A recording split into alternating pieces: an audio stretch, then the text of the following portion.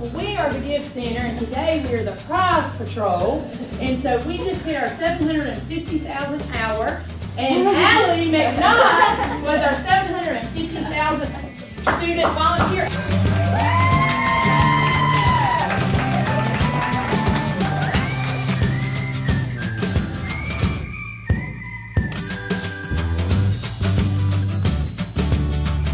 So through the outreach team, um, I personally have gone on a mission trip through an organization called Send Me Now. Send Me Now is um, an organization that sends people on mission trips. So it can be anywhere from disaster relief or um, camp counseling or just volunteering for like when the hurricanes came through, we got a bunch of people certified so that they can go through and help clean up wherever Irma has most devastated them.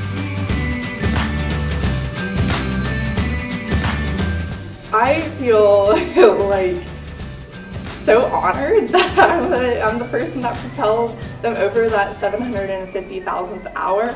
I feel so undeserving and, and, there's so many other people that could have done this. Um, but I just hope that this is a foreshadowing of the future and that we just keep propelling forward.